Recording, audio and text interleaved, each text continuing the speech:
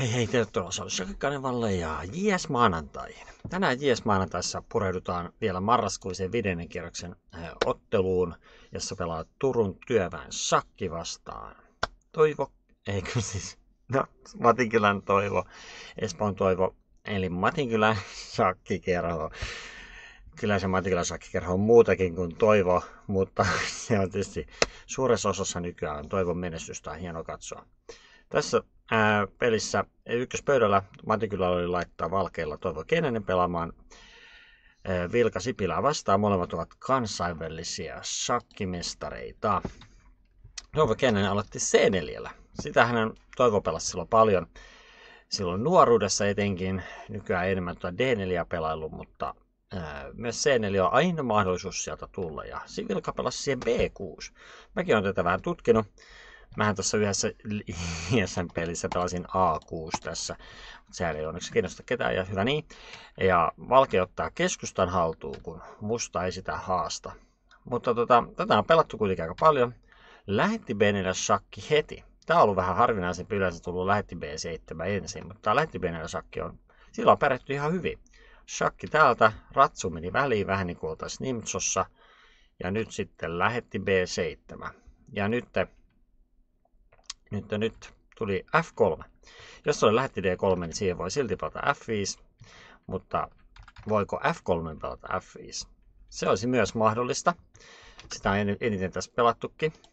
F5, sieltä lyönnit ja ratsu H6 jopa pelattu ja ratsu F5 ja lähti F4 ja lyödään D E6. No kuka näin pelaa? No esimerkiksi Aleksander Moroshevich on pelannut näin.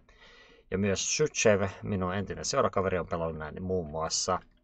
Eli ihan suurmestarit ja, ja ei Jack Power vaan vissi, onko toi Christian Power. Power on pelannut mielenkiintoista semmoista ranskalaismuunnelmaa Ratsu C6. Sitä mä oon joskus tutkinut ja pelannutkin, ainakin yhden kerran. No niin, mutta tuli daamishakki. Tää on jo vähän harvinaisempi. Täällä on myös kyllä Sochko on pelannut ja Tapa Tapa ei. Kyllä jos hän pelaa, niin kyllä sitä voi pelata. Musta provosoi G3 heikennyksen, lyö C3 ja tulee kuningattare takaisin. Nyt täällä on tummartunen lähetti on valmiina täällä näin mustalla ja näin. Ja valkea pelaa siihen D, lähetti D3. Tässä voisi pelata halutessaan C5, jos on ollut ihan erityyppistä peliä yrityksenä avata tätä B-linjaa ja peli olisi hyvin jännittävä. Näin on mennyt pari peliäkin, mutta tuli lähetti D3, C5, ratsu E2, valkea kehittää nappuloita. Tämä nyt vaan, koko tämä setup nyt vähän tuppaa olemaan sillä lailla, että vaikka Valkeen näyttää olevan ihan hirveän hyvä keskusta tossa, niin äh, siihen se vähän niin kuin jääkin. Se ei niin kuin oikein pääse liikkeelle. Valkea pelastas Dami D2. Ja tässä on tosi vaikea Valkeella mitään niin kuin edistyä tässä. Ja jos musta pelaisi vaikka lähetti A6 ja katsoisi mitä Valkea tekee, niin, niin, niin aivan, mitä se tekee etenemistä ei oikein toimi. Hieman yllättäen tässä ei vaan ole etua. Eli aika hyvin onnistunut Vilkalla avaus, täytyy sanoa, mutta nyt Vilka tekee pienen virheen, pelas E5, joka kylläkin sulkee tuon keskustan, mutta tässä ääneen valkeille vähän etua. Tulee ratsa C1. Tämä aika tyy- mä muistan jonkun, jonkun vanhan pelin, jossa tota, ähm, niin, niin, äh, jossa, jossa tota, oliko joku Botvinnik tai joku vastaava sieltä aj- ajolta, niin tulee tämä Ratsu B3 ja musta ei halua vaihtaa sitä, koska se parantaisi valkean sotilastruktuuria, niin tässä musta joutuu vähän miettimään ja olemaan vähän sillä lailla miettelijällä päällä. Tuli kuningatara 4 ja nyt valkeen ehkä vaan kannattaisi lyödä.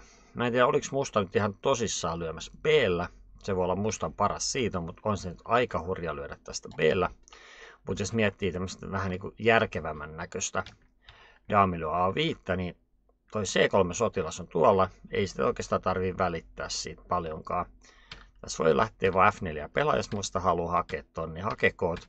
Valkea ottaa täältä nappulat hyville paikoille, vaikka lähetti C3, taas siis vain yksi vaihtoehto. Ja nyt uhkaa ottaa daamia kiinni ja lähetti tippuu. Ja tämmöisessä asemassa niin Valkealla on erittäin hyvä peli. Ja oikeastaan se oli hyvä, melkein voisi sanoa palvelus, että musta kävi hakettaa C3, niin tämä lähetti on tässä diagonaali aika hyvä.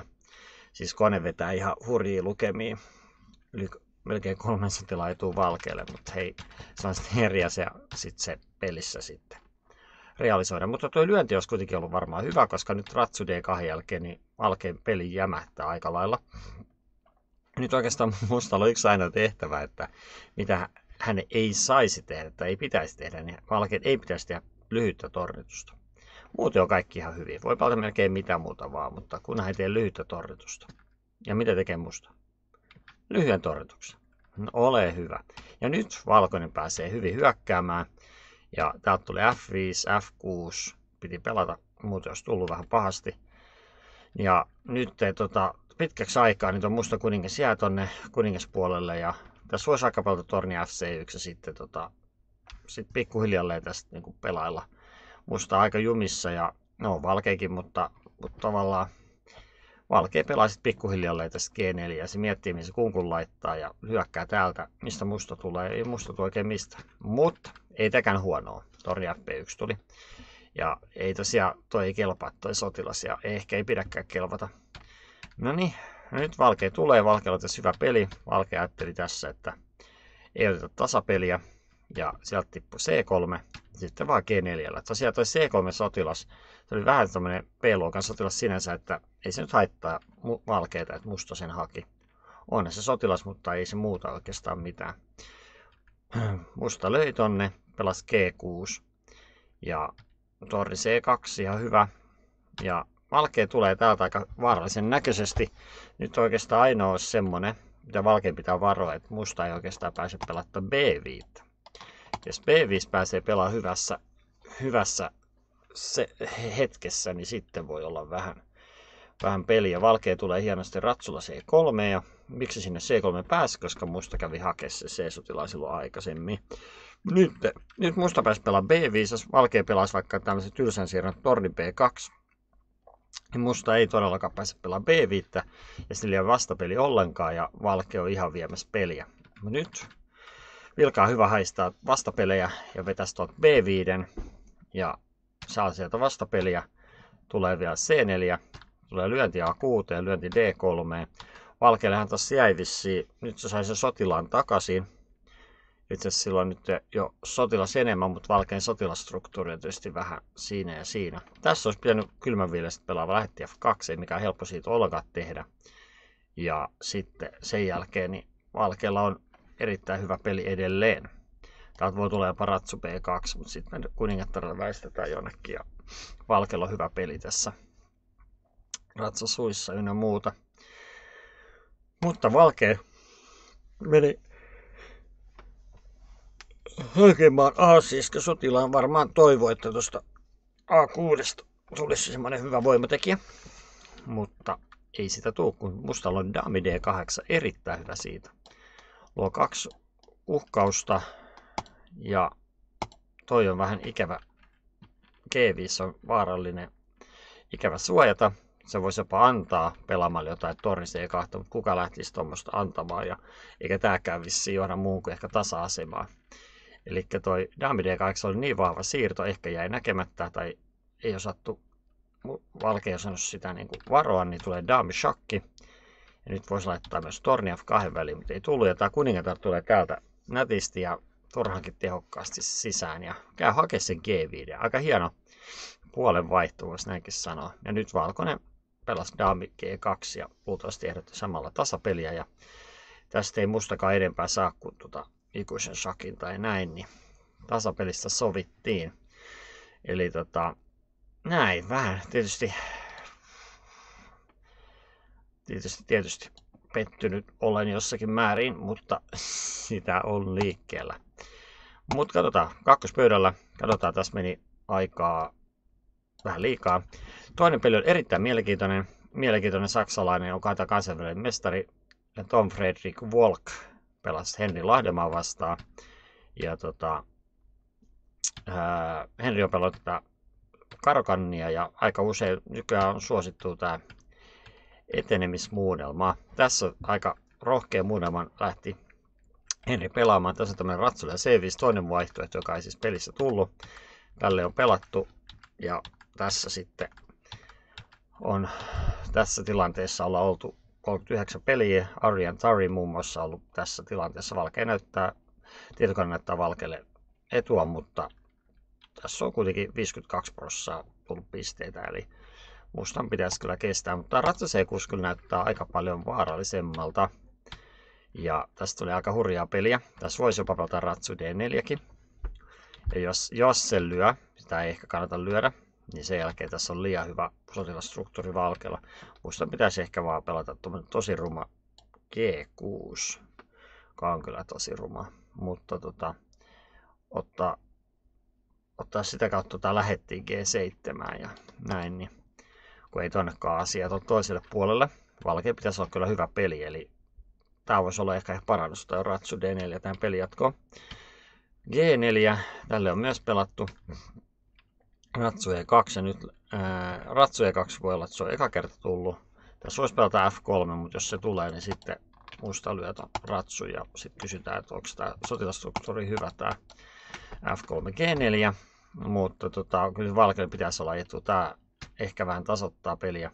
F4 tuli lyönti, lyönti, ratsu C6. Ja nyt F5 hyvin luonnollista se pelata. Musta voisi pelata ehkä E5, mutta tuli tota Dami D7. Torni E1. Joka on varmaan virhe, koska tässä pitäisi valkeen saada.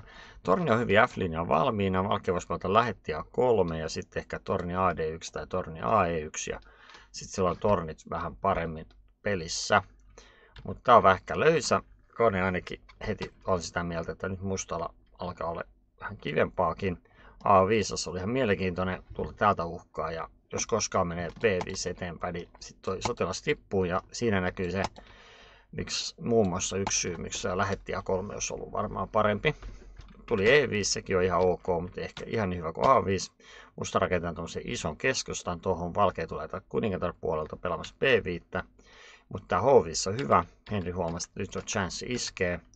Ja tämä menee aika hurjaksi tämä peli. Erittäin mielenkiintoiseksi tulee vielä C6 lyödään, ratsu lyö D4, menee aika villiksi, lyödään, no musta päätti lyödä F5, ne vissiin lyödä tänne, ja sitten sen jälkeen lyödä daamilla F5, jonka jälkeen ollaan jossakin tasa-asemassa. Tuntuu vähän hassulta, mutta tota, mitäs tuohon tulee? Sitten tulee hunkku F7, no tietenkin. No miksi mä en nyt sitä heti älynnyt? Kunkku F7. Tasa-asemi. Aika hurjaa. Mutta tota, vissi oli huono siitä pelata tänne. Nyt lyöti tonne Dami C8. Valkelle jää toi C6 sotilas ja erittäin vaarallisesti. Damilla G4 myös erittäin hyvä. Ja nyt No, tässä olisi pitänyt lyödä tonne, mutta siellä on aina toi Dami G6 välisakki, joka nyt ei ole ehkä ihan hirveän kiva. Ja Tästä tulee aika hurjan näköistä jälkeen. Täältä tippuu tuo kuningatar muun muassa. Ei tähän halunnut mennä. Musta yrittää taistella, pelaa ratsu H4, ottaa tuon G6-ruudun toki samalla. Ja on aika hurja tilanne. Ratsu E6 erittäin hyvä siitä. Torni H6 yritetään, musta yrittää sieltä tulla pelaa torni G6 myöskin, että tuo daamin tuohon kiinnitykseen. Tää vaan häviää. Tää hävii melkein muutenkin. Taas vissi pienin paha ja rattilyö G7, lähettelyä G7 ja sitten daamilla G7 ja täältä saa yhden shakin ja saa muuten toisenkin, saa muuten kolmannenkin, mutta sitten lopulta loppuu shakit kesken ja, ja tota, muista pääsi pitkään tornitukseen, mutta ei vaan riitä mihinkään. Aika hurja muunnelma. Mutta tornihokuus hyvä yritys, mutta se pitäisi hävitä. Tuli ratsusakki ja nyt valkoinen. Olisi voinut voittaa pelin yllättävän tehokkaalla siirrolla Dami D7 sakki. Idean tässä on se, että sotilassa suojaa, eli nyt jos tulee kunkku G8, niin sitten me vaan lyödään toi torni ja Dami ja kuningatar suissa, ja valkea voittaa pelin. Tässä on liian hyvä toi vapaa sotilas ja näin. Et muun muassa jos tulee niin lyönti, sitten ehkä kunkku lyö ja Dami B7 ja peli alkaa olla siinä. Ei pysty, ei pysty musta enää, musta enää tästä nousemaan. Tässä on aika näppärästi vielä muuten, jos tulee tota Dami E8, niin kun tulee C7, niin tulee shakki, niin kivasti toi kuningatar ottaa tuon G2 pois. Ja myös tietysti, niin. Ja Tällä olisi varmaan valkea voittanut tyylikkäästi, mutta tuli tornishakki. Nyt tämä menee pikkasen haastavammaksi. Nyt pitäisi pelata ehkä tuolta dameshakki ja mennä tällaiseen asemaan, jonka myös sit valkea voittaisi. Mutta valkea taas vähän erehtyy tonne F8. Ja nyt on tosi vaikea nähdä se paras siitä, joka on niinkin kryptinen kuin kuningas H1. Ja, ja sitten Valkealla on edelleen voittoa lupaava asema, tuli ratsu E6. Nyt menee peli on huomattavasti vaikeammaksi, tuli F5. Daamilla on H4, koska daamien vaihdota Valkelle sopii. Valkelle tuo super C, C-vapaustilassa voittaa kyllä niissä. Ja edelleenkin Valki on matkalla voittoon, mutta nyt sitten kohta, kun musta yrittää pelata näin, ja tuli tosi hyvä siitä Daami G5, uhkaa G7 Mattiin, niin pakko laittaa tornin väliin, niin miten tekisitte tässä? Voitte laittaa tauolle, jos miettiä. Miten pelaisitte tässä valkealle, että voittaisi sitten? Valkean tie kohti voittoa olisi daami lyö E7. Ja, tota, ja sitä on tullut tietysti tuo korotusteema. Ja sitten korotetaan yksi kuningatar. Ja tässä pelissä, vaikka sekin näyttää tosi hyvältä valkealle, niin se ei olekaan niin hyvä, koska tota, pelissä tuli tornilyöjä 7, joka näyttää myös voittavan, niin hieman yllättäen tämä onkin tasa-asema. Ja nyt sitten valkoinen löi sen tornin ja toivoo, että musta sen löisi, jolloin valkea voi korottaa kuningattaren, mutta nyt hieman yllättäen täältä tuleekin ikuinen shakki. Se tulee kyllä pikkasen ehkä puun takaa. Mutta täältä tulee vaan koko ajan shakkeja, valkea ei niitä pääse karkuun. Ja peli päättyi tasapeli. Nyt on 41 siitä on pelattu ja oli aika lisäajan turvin katsoa, että peli on tasan. Hyvä, hyvä, hyvä tota, tosi hyvin pelattu tuolta Tom Frederickiltä, mutta jäi sitten vielä se voitto siitä ottamatta. Ää, näin, mennään tota, Oliver, Vart, Oliver Vartiovar Matikylässä vasta Erik Rönkä. Ja tämä on oikeastaan ehkä tämän ottelun tylsin peli, mutta ehkä myös korrektein. Eli tässä on tämmöinen kiva pikku ansa, mitä mä oon itsekin opettanut. Eli tässä ei kannata lähteä lyömään, muuten, muuten tota, musta saa liian hyvän pelin. Se pelaa lähti G4 ja sitten alkaa olla mustalla ilonpäivät. Täältä tulee shakkia ja ehkä ei daamilla kuitenkaan, mutta ehkä tornilla niin sen jälkeen kunkku F1. Ja jos se joku on paremman puolella, niin se on varmaan musta. Mutta valkoinen varmaan ties ja pelasi tornituksen. Lyödään D5. H3 on yksi vaan monista vaihtoehdoista. Lähti G5, Dami F3 on ainakin vaihtoehto ja lähti G5 kaikista yleisin, mutta H3 ihan ok. Valkea tuo kuningattari F3 ja nyt se rupeaa sitten tätä jauhaamaan. Mutta tässä, kun Erik pelaa tätä hyvin, ja Erik muutenkin pelaa E4 E5 avauksia aika hyvin, taisi olla hän, joka pelasi silloin kerran yhtenä vuotena Vilka Sipilän kanssa semmoisen viiniläistasapeliä. Nyt Valkei vietetään nyt kohti tasapeliä ja, ja nyt sovittiin tasapelistä 24 siitä on pelattu ja täysin tasa-asema. Ja tässä ei tullut virheitä kumminkaan puoli. Mutta se usein virheettömyys voi johtaa siihen, että peli on vähän tylsää. Mutta ei se mitään. Mutta nyt mennään mielenkiintoisempaan peli Jari Järvenpää Tutsista. Valkeilla vastaan Patrik Aalto. Ja täältä tota, niin, Patrikki on joskus on valmentanut ja näitä C4 C5 muunnelmia olen hänelle opettanut joskus, mutta siitä on siis aikaa. Mutta näitä, näitä käytiin läpi, näitä symmetria-juttuja, tai melkein symmetria-juttuja kuitenkin. Mutta joo, tälleen voi pelata. Ja tässä on tota, tämmöinen muunnelma, että annetaan lyödä tuonne B7 ja valkea sinne haki sen pois. Mutta tota, tässä on Dami D3 yritetty. Tässä itse asiassa ää, ei ole valkea ihan hirveän hyvin pärjännyt näissä. Tämä ei nyt ole hirveän monta kertaa tullutkaan tämä asema. Onko se toi Torni D1? Joo, Torni D1 ei ole se yleisin tässä. Kaikista yleisin on Dami D7. Ja sitten näissä välillä toi musta manöveraa ratsassa tuohon E5 ja näin, mutta tässä voisi valkea ehkä toivoa saumassa etua, mutta ehkä tämä torni 1 on vähän löysä. Näin meni. Damia 5. Nyt täällä on ongelma, että miten valkea aikoo tämän kehittää tämän lähetin ja mustalla on aina ratsu D5 mahdollisuus pelata, jos se haluaa niin lähteä uhkaa tonne ja lähetti uhkaa kuningatarta. Tuli ratsu B5, se on vähän heikohko siitä. Nyt olisi voinut lähteä myös pelaa ehkä ratsu G4. Ja täällä on sitten tällaisia, niin, mihin se menee? No jos menee F4, niin sitten meillä on ehkä mahdollisuus pelata lähetti H6, jos me halutaan. Mutta voidaan myös tällaista pelata ja toi C4 tulee kyllä tippumaan aika varmasti. Mutta tota, tuli A6 sekä jo huono, mutta tässä on aika outo siitä. Damia 7 on ollut koneen mukaan paras. Se on kyllä aika outo. Se ehkä tärkein tehtävä tuon Damia 7, että se tekee tilaa tuolle ratsulle.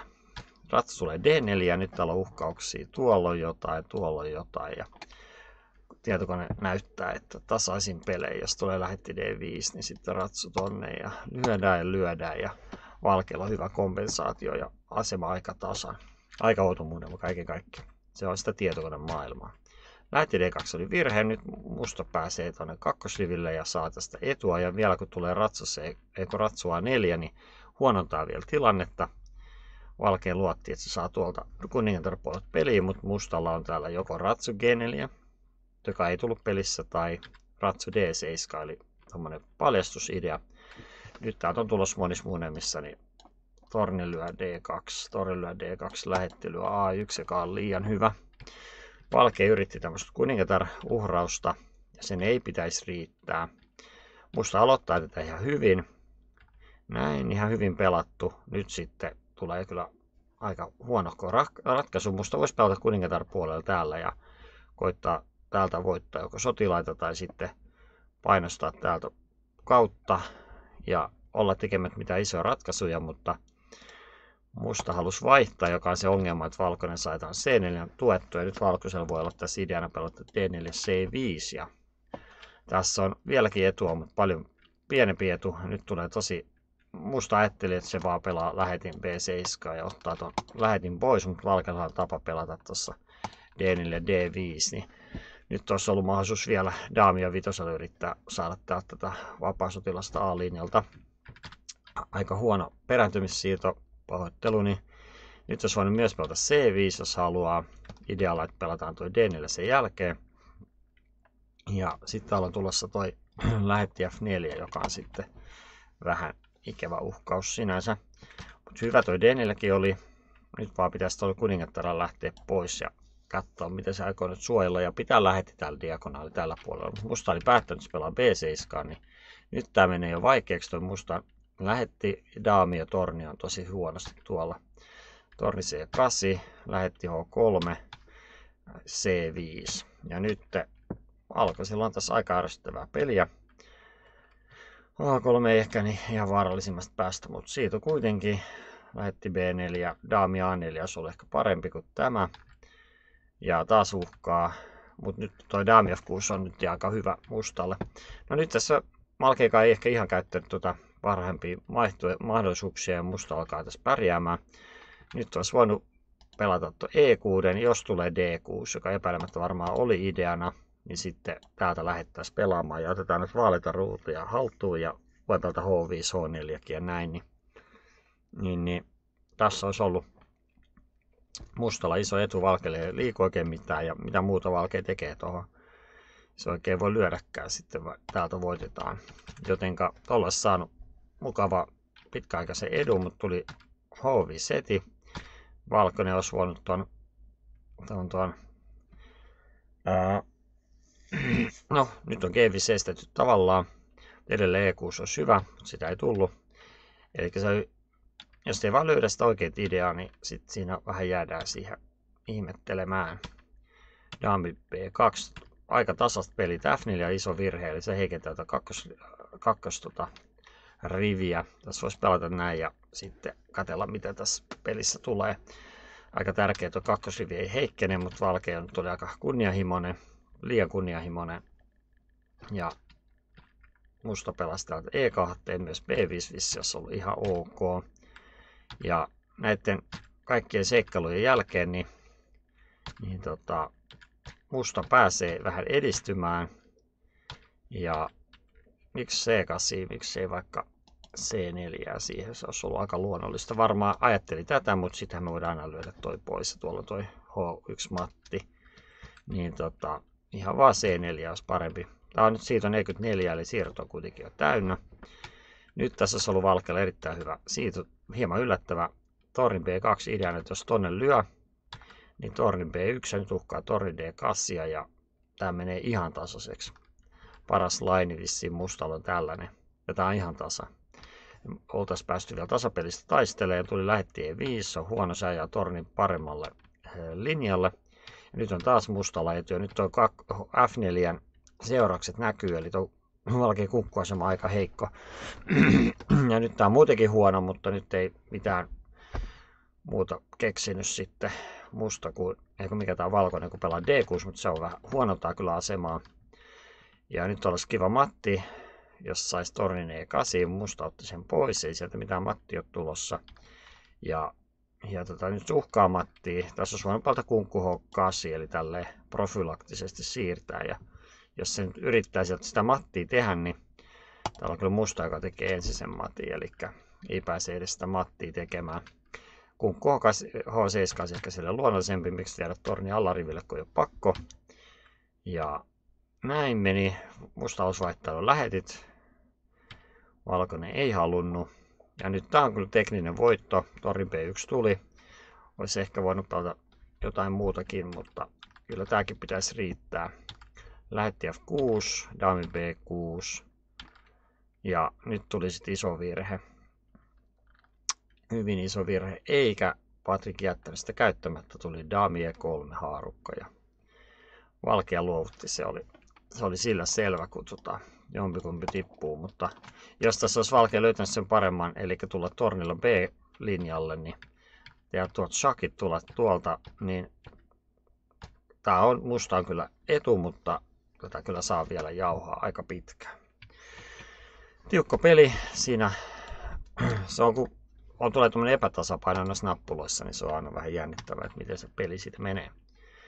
Nyt on ihan väärä peli. Mennään vitospöydälle. Siellä pelaa, pelasi ää, Petri Kekki ja Nuutti Sorsa. Ja Petri Kekki, kansainvälinen mestari, on laittaa Matikylälle vitospöydälle. Se on aina hyvä merkki kyllä. Ja Nuutti Sorsa, niin mustilla tässä tuli tämmöistä tämmöistä, tällaista Petri on nyt viime aikoina pelaillut tällaista, mitä sitä nyt olikaan. Ää, tää, tää, tää, apua nyt. Ei nimi tuu mieleen, vaikka mä itsekin pelannut mustilla tuota vastaan, eli toi Trompovski, nyt se sieltä tuli sitten. Mutta tää on aika tasasta, tälle on pelattu F4. Nyt tässä on tavallaan kiva valkeelle, että valkea niin tota, vaihtoi tuon lähetin ja nyt sillä on sotilaat tummilla ruuduilla. Eli periaatteessa ihan kiva. Tässä on, nyt ehkä ei pitäisi kyllä vaihtaa E4. Se tuli. Pitäisi varmaan pelata jotain, joko ratsu DF3 tai sitten vaan, ihan vaan C3 ja olla välttää lyöntiä. Tuli lyönti ja lähetti C4. Nyt on E4 on tossa ja tää on aika tasan. Nyt pitäisi pelata joku C5 tai sitten va- valmistella sitä torni AD8 ja sitten C5, niin pitäisi olla aika tasa, missä on valkean etu. Sitä ei vain ole. Mutta tuli vissiin vähän virhe, tuli lyönti, vaikka näinkin on joku peli pelattu, mutta ne pelaajat nyt ei mitään maailman huippuja ollut. Tässä on voinut valkea pelata torni F4, joskus siirrään torni G4, daami pois, tornien kahdennus. Voi joskus miettiä D5, toki ei ehkä voi miettiä, kun sieltä tulee torni D-linjalle. Mutta tällä lailla niin Valkealla on tässä ihan, ihan kiva peli. Ja mustaan toi lähetti on aika huono kuitenkin tässä kyseisessä asemassa. Sen sijaan tuli Dami E2, ei sekä huono on pikkasen varovaisempi. Ja nyt tässä on aika jännää, että, että Valkea voisi vaihtaa tuonne D4 eikö D5 ja nyt varsinkin olisi voinut vaihtaa sinne D5. Ja voisi tuntua, että musta on tuettu vapari, mutta tämä asema itse asiassa on Valkeelle yllättävän hyvä. Tämä on tulossa jossakin muunemissa jopa, jos ei paljon mitään tapahdu, niin tota, tulossa torni tai jos tapahtuu daami ja 7, niin voit ottaa torni F6. Nyt täällä on keelin ja matte ja muuta, niin valkea saataisiin etua. Ja mitä musta sitten tässä tekee, se on hyvä kysymys. Ehkä torni C6, sitten ehkä daami B5 lähdetään kutittelemaan. Pääsee uhkaan Matti, mutta tuo D5 on heikko. Eli täällä olisi saanut heikko, heikkouksen tuonne D5. Näin olisi valkea pitänyt varmaan pelata. Sen sijaan tuli tämmöinen lähettäjä 6 koukku ja C3. Musta saa tätä F5 ihan hyvän pelin nyt vastapeliä, vaikka sotilastruktuuri onkin vähän mitä sattuu. Ja valkea päätti mennä vaihtaa kuningattaret. Ei kovin ehkä voiton kannalta kovin, kovin tota, rohkea valinta. Nyt lyötiin A2, se oli siellä jonkun aikaa, se voi lyödäkin. Tässä voi suonut kyllä valkeavalta B3, mutta valkea ei nyt jaksanut välittää tuosta. Se katsoi, että se saa tuon voitettua tuon E-sotilaan takaisin, niin se on hyvä. Tämä nyt vaan johtaa tällaiseen tilanteeseen, joka on aika lailla tasan. Mutta nyt kun musta lähti lähetillä vähän seikkailemaan, sen olisi pitänyt tulla tuonne D5, pitäisi tossa ja peli pitäisi päättyä tasan. Vaikka musta menettää G5, niin sille ei vissi ole merkitystä, jos tuo E6 pysyy tosta. Ja sen jälkeen ei kyllä valkeitu sieltä millään läpi. Mutta lä- musta lähti vähän varo- varomattomasti tuolta lähetillä pelaamaan. Niin nyt tippuu toi B6. Ja tässä, jos valkoinen saa noin noi D- ja E-sotilaat vaihtumaan, niin sitten olisi aika hyvät mahdollisuus voittoa esimerkiksi tällä lailla. Kun tässä on se, että valkea pyrkii tuon D-sotilaan käydä hakemaan, jos se, jos se tippuu, niin sitten valkoinen kyllä voittaa. Ja jos jossain muonemassa, niin valkoinen voi uhrata ehkä tornin lähettiä tuohon G-sotilaaseen, jos se sitten oppositioiden kautta pärjää, koska, koska tuolla on aina tuota toi odotussiirto tarjolla. Jos valkea ehtii A4 lyömään ennen, ja musta on tuolla kuninkaalla tuolla valkea ehtii tuolla kuninkaan löydetty A4 ja musta kuningassa siinä täällä, ulko, täällä näin puolella, niin valkea taitaa niissä useimmissa sotilasloppupeleissä pärjätä. Sillä on aina odotussiito, temposiito tuossa tarjolla.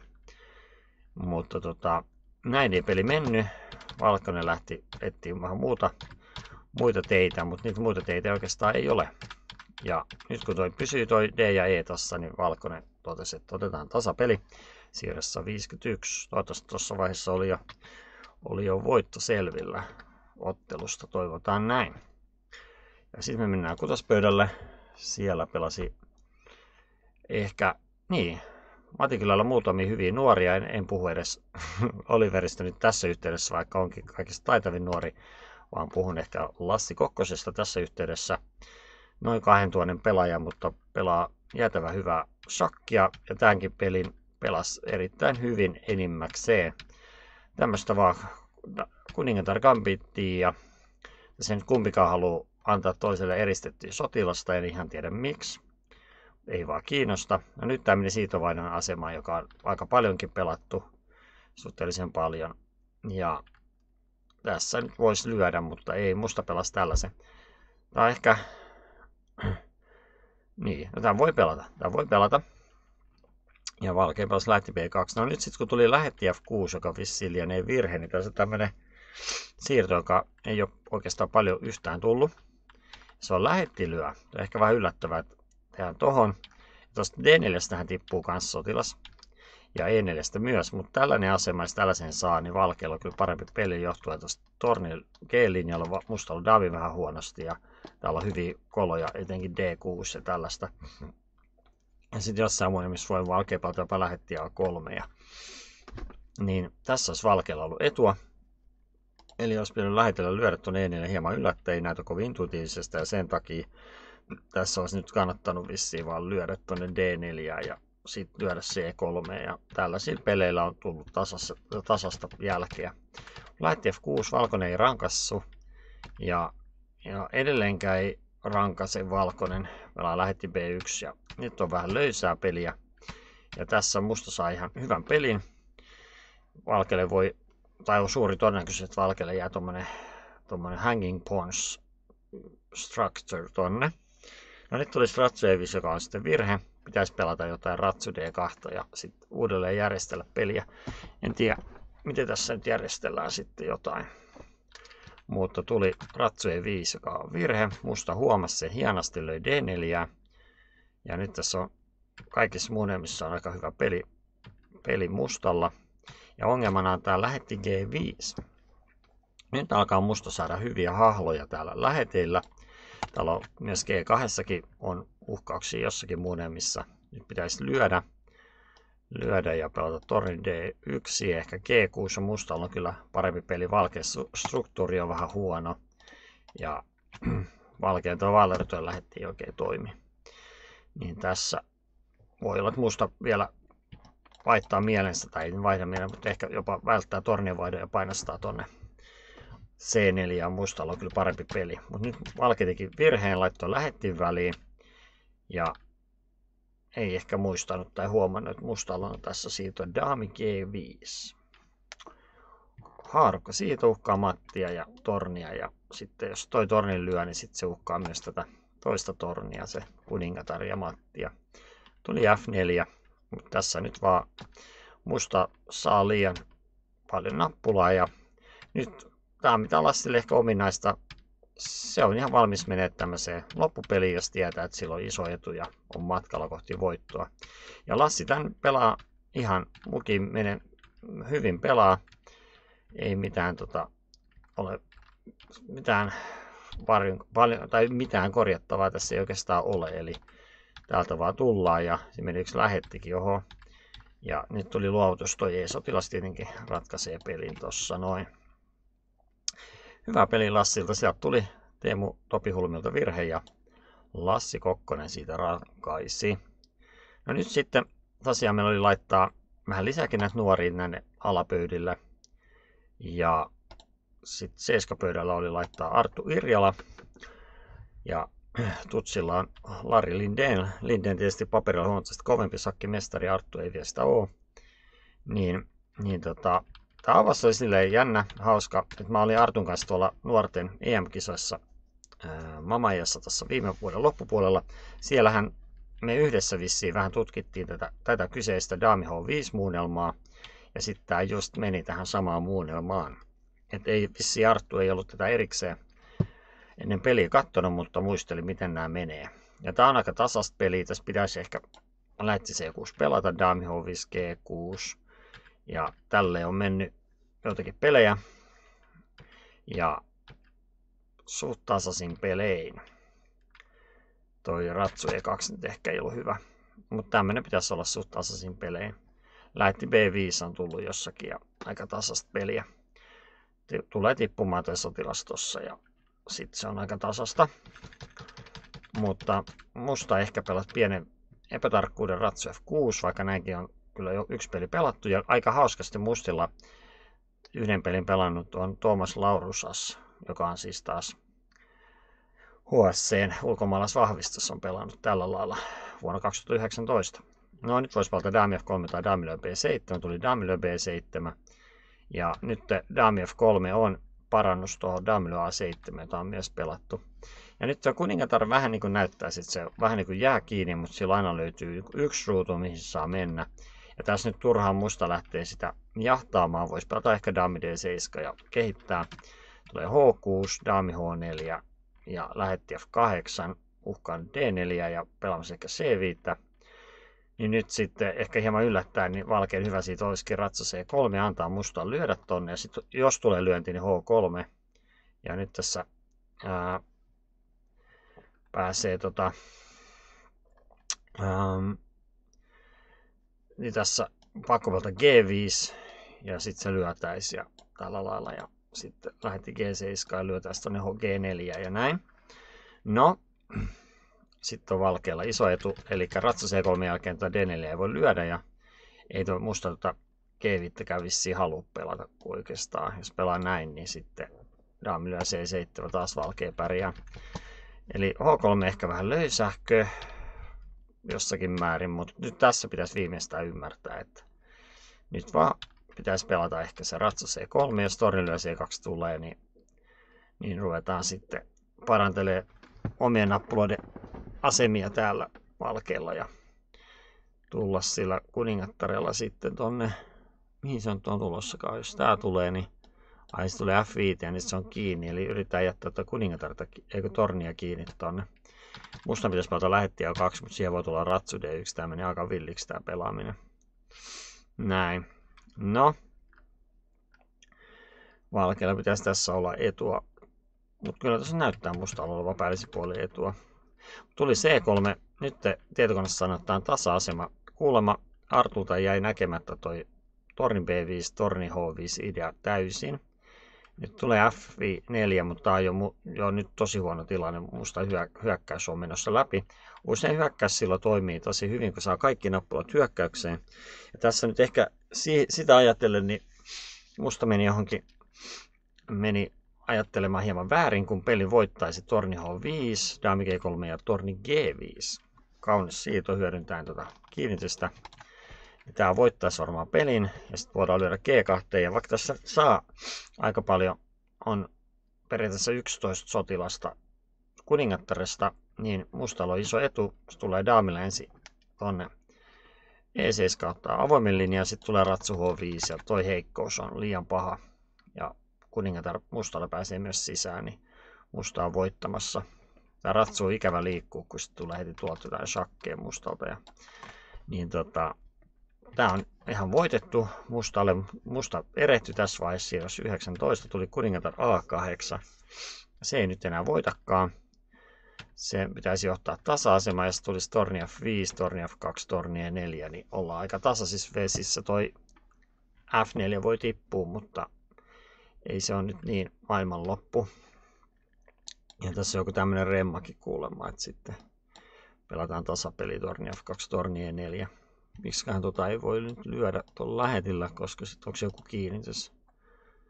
Öö, näin ja okei, ne tornit on nyt jotenkin tyhmästi siinä sitten. No joo. Mutta tuli kuningatar E4 virhe. Nyt valkoinen rupeaa vaihtaa nyt nappuloita. Ja aika jännästi toi mustan kuningatar on hetken kuluttua ruudussa H7. Sitä on vaikea uskoa, mutta näin se vaan menee sinne H7. Ja Malkeilla on todella kivenkova asema ja ratsu tosi hyvä tuolla E5 ja G4 jättää tornikin kiinni. Musta yrittää täältä vielä, mutta tämä on tosi jopa surullinen tilanne. Asema kyllä mustalta, ei mikään toimi. Ja torni uhraus epätoivoinen, mutta eihän tästä mitään tullut sitten lopulta, niin musta antoi valkeinta ja shakkimati, niin pääsee siitäkin kärsimyksestä eroon. Hyvä voitto Artulta. Siinä oli kyllä Siirroa ja Mustalla aika selkeä voittoasema, mutta sitä ei tullut käytettyä. Ja Mikala pöydällä oli laittaa myös nuori Lukas Halme. Ja, ja tota, hän pelaa D4 F5 ja osaa niin hollantilaisen päämuonemat tosi hyvin, mutta Riku Koskinen viakkaasti pelasi G4. Mä itse myös pelannut tätä tässä samassa asemassa ja Tää on yllättävän pelikelpoinen, eli musta ei tästä saa etua. ja valkea voi voittaa H3. Ja mä oon joskus pelannut silleenkin, että koska tuohon G4 sitä ei ole pakko lyödä, että musta voi pelata vaikka D5. Mä en ehkä tästä niin tykännyt. Mä kerran pelasin, että pelasin H3 ja sitten vastustaja kyllä pelästi tässä vaiheessa, että mä pelaan G4 ja pelaskin D5, mutta sitten se onkin huono se D5. Valkea saa ihan hyvän pelin tämän jälkeen. No joo, mutta kyllä se voi pelata heti myös tuon G4. Ja näin tuli lyönti. Valkeuttaa keskustaan. Nyt musta pitäisi pelata D5 ja, ja vaikka näinkin. Ja sitten on aika tasaisin pelein. Ratsu F6 ja tasasta peliä suunnilleen on luvassa. Mutta musta pelasi G6 vähän liian tuolta reunalta peliä. Ja E5 nyt tässä menee vähän niin kuin liikaa sotilaan siirtoja tekee musta ja valkea hyödyntää se ja tulee ratsulla G5. Tuli tämmöinen shakki, joka pitäisi hävitä. Tämä on kyllä nyt jo, joka tapauksessa aika vaarallinen, jos tulee ratsu, ratsu tota, H6, niin tämä Damille ja D4 voittaa vaan ihan heti pelin. Eli liikaa sotilaan siirtoja. Tässäkin mä vähän ihmettelen, että miten voi, miten voi kyllä lyödä tuonne D4. Että se on kyllä aika hurja siitä. No, anyways, tuli lähetti sakki, ei pitäisi toimia. Tulisi tuonne lyönti, nyt vielä tuli lyönti, sekin on ihan hyvä. Ja nyt kun tuli Dami F6, niin Valkea voittaa sitä muutama siirrolla, muun muassa lyömällä P4. Siellä on torni, mutta ketä kiinnostaa, kun meillä on Dami D5 kauniisti. tulos tuolta tekee Matti kahdella siirrolla. Ja tietysti Ratsukin joskus osallistuu hyökkäykseen. Niin tää vaan voittaa ihan suoraan. Jos tulee Dami G7, niin hienosti lähetti B2. Aiheuttaa varmaan jonkinlaista luovutushalua mustalla.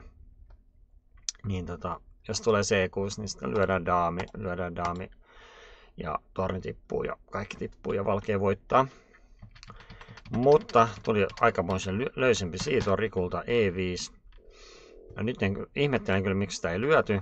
Tehdään voisi lyödä ja sitten pelata lähetti C5 ja pitäisi vielä mustan olla pelissä mukana.